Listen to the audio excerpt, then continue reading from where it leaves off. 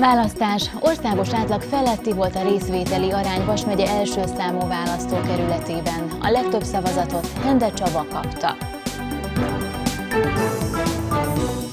Kék séta az autizmus világnapja alkalmából. Az érintett gyermekek és felnőttek ellátásában szerepet vállaló intézmények is bemutatkoztak.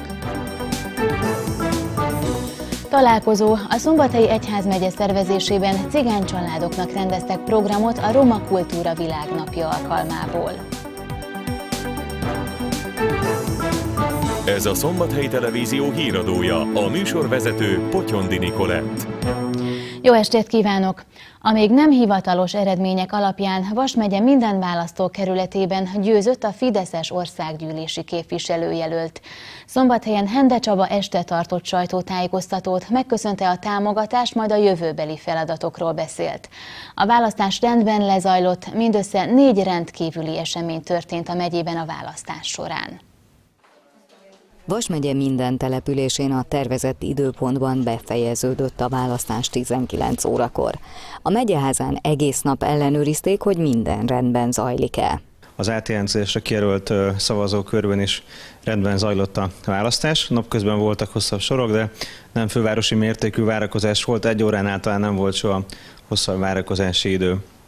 Úgyhogy Vas megyében összességében a megfelelő rendben zajlottak az események. Néhány kisebb választási rendkívüli esemény volt. Pankaszon, illetve szombathelyen három szavazókörben volt probléma. Pankaszon egy választópolgár azt kifogásolta, hogy a szavazó fülke függönyét egy szavazó, szavazatszámbizottsági tag elhúzta, illetve szombathelyen három alkalommal találtak lepecsételt szavazólapot, amit valószínűleg valamelyik választópolgár hagyott ott. Késő délutántól közös eredményvárót tartott az Óperint utcában az LMP, a Momentum és a két farkú kutyapárt. Itt jó hangulatban követték az eseményeket. A jobbikosok egy étteremben kivetítőn figyelték a választást, mások a laptopjukon, telefonjukon nézték az eredményeket. Az MSZP irodánál is nagy érdeklődéssel várták az adatok feldolgozását. A fideszesek több helyszínen kísérték figyelemmel a választást.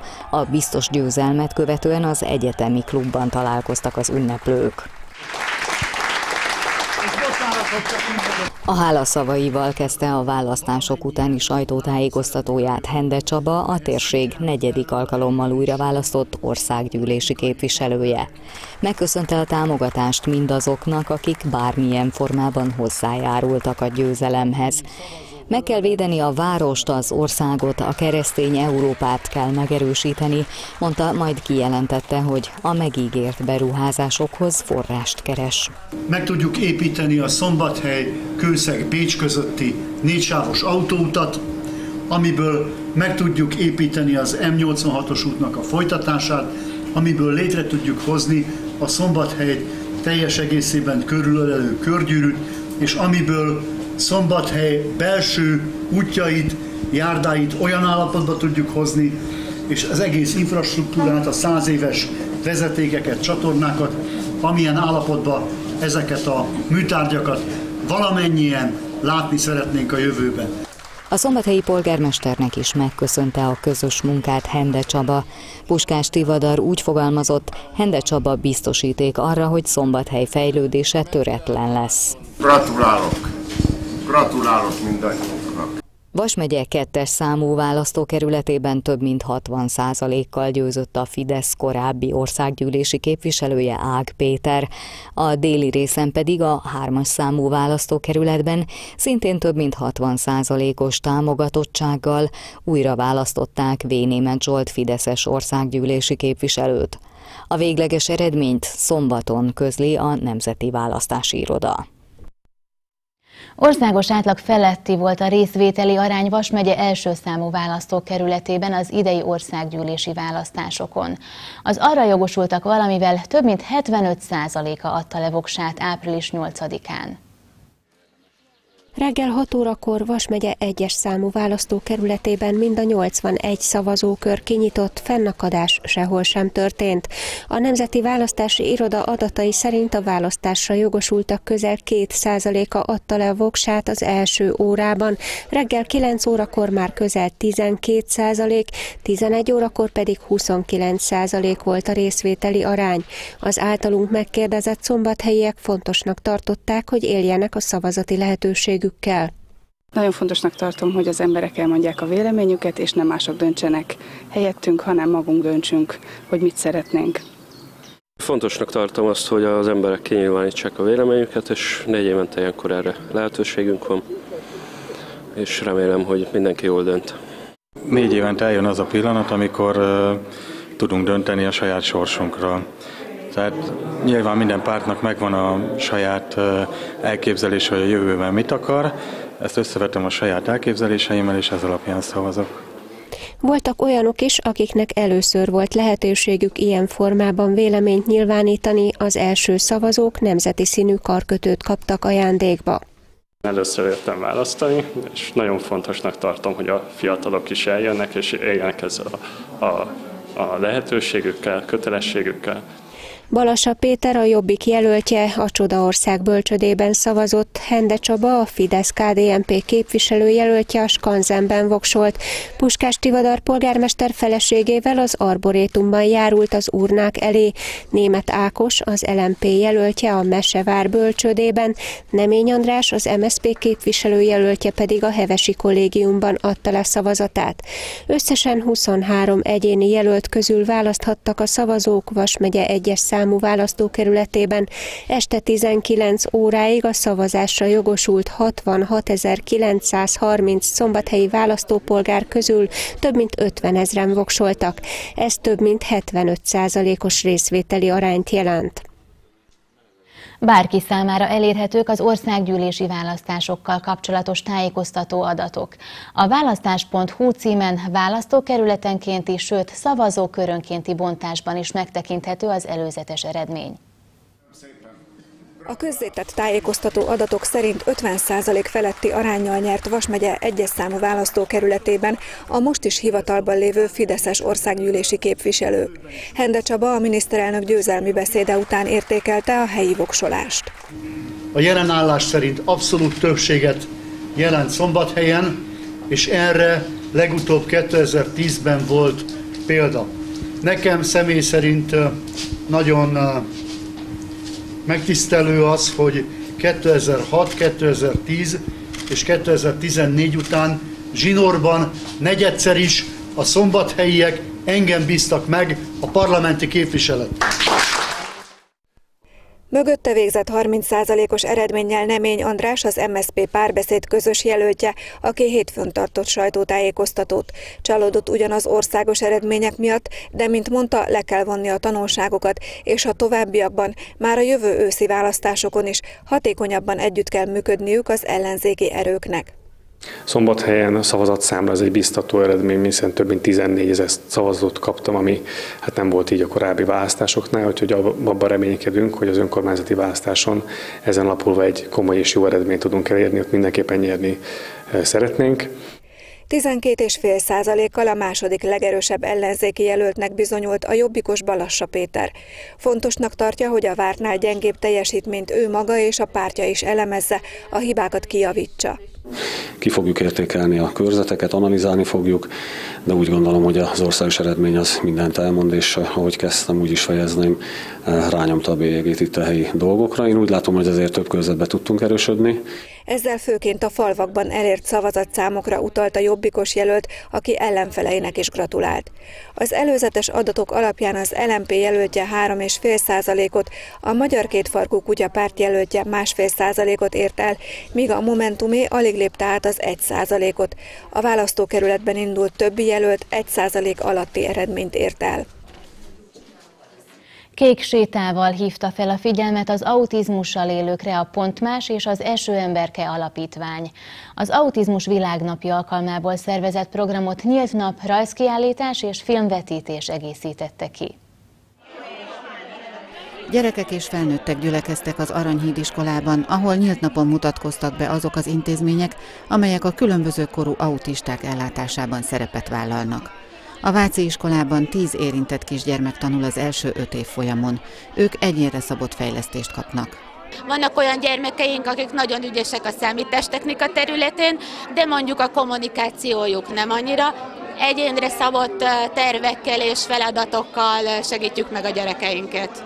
Az autizmus világnapja alkalmából mindenki viselt valami kéket, a szokásos sétára pedig egy-egy kék lufival a kézben indultak. Az a célja, hogy felhívja a figyelmet az autizmussal élő emberekre, arra, hogy, hogy itt vannak a világban mások, de nem kevesebbek, és együtt vagyunk, örüljünk egymásnak. A Bábos Arcok színművészei vezették a zenés menetet, amely a főtérig haladt.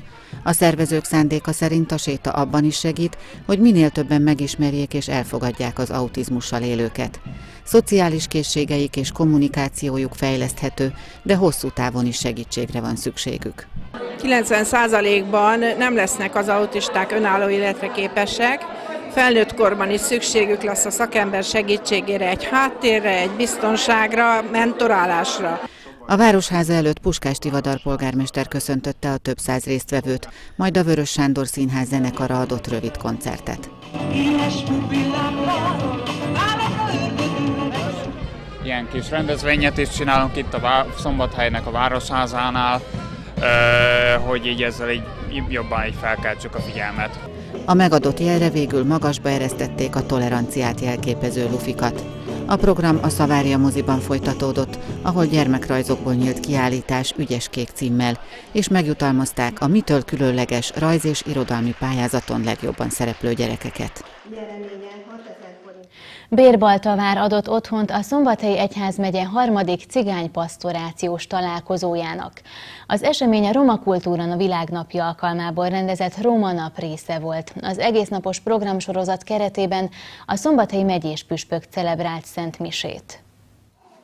Székely János az ünnepi szertartás elején megáldotta a templom új, a romák patrónusát, Boldog Szeferinót ábrázoló festményét. A főpásztor szent beszédében azt hangsúlyozta, hogy az isteni szeretet befogadása nélkül nem lehet teljes és sikeres életünk. A cigányság legfőbb és egyetlen esély Krisztus.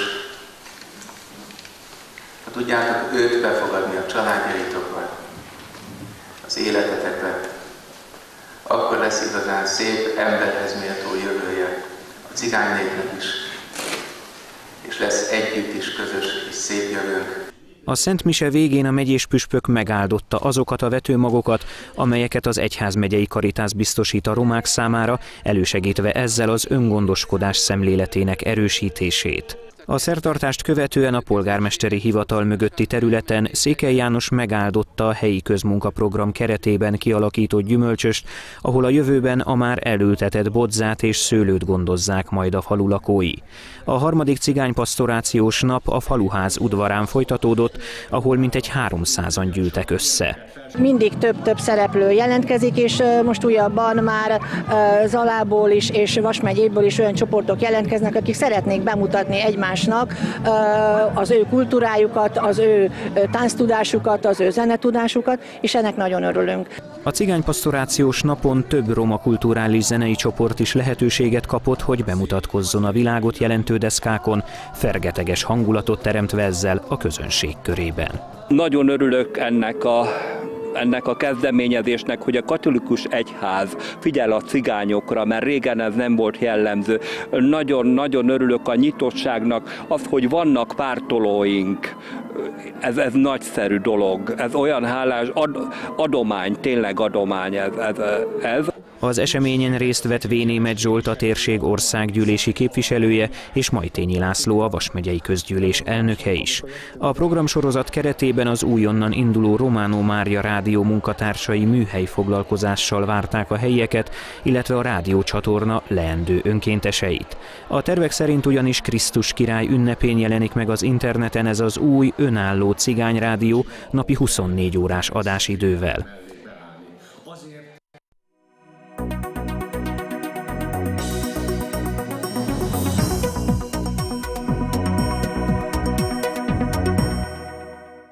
Győzelemmel kezdte a felsőházi középszakaszt a Falkó Vulkánó Energia KC kosárlabda csapata. A szombathelyek az Aréna Szaváriában verték 87-74-re a Kecskemét kártáját. Némi meglepetésre a vendégek kezdték jobban a derbit, a negyedik percben már 11-6-ra vezettek. Ezt követően azonban egy 13-0 szakaszt repesztett a Falkó, és a negyed végén már a sárga-feketék jártak 6 ponttal előrébb. A második etap elején pedig elhúztak a szombathelyek 27-15-re, és ezt a tetemesnek mondható előnyt lényegében a félidő zárásáig tartani is tudták. Térfélcserét követően a kecskemétiek kapták el a fonalat, és felzárkóztak 53-50-re, ám ezzel el is lőtték az összes puskaporukat.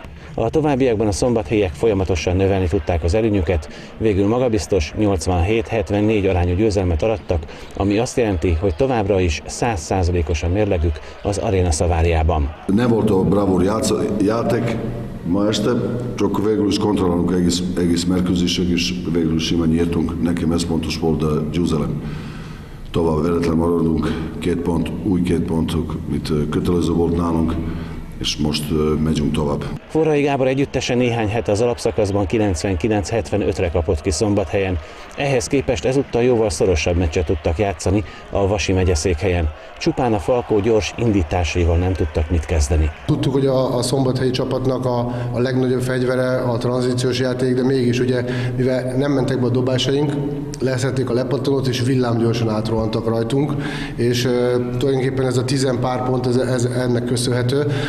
Végigvezetett a Falkó, úgyhogy teljesen megérdemelten nyertek. A Falkó győzelmének köszönhetően tartja a második helyét a tabellán. Szerdán szabadnaposak lesznek, azt követően pedig előbb Székesfehérváron, majd Körmendel lépnek pályára a felsőházi középszakaszban. A Szombathelyi Televízió híradóját látták. Műsorainkat az interneten a www.stv.hu címen nézhetik meg. Híradónkat óránként sugározzuk. Én munkatársaim nevében is köszönöm figyelmüket, viszontlátásra!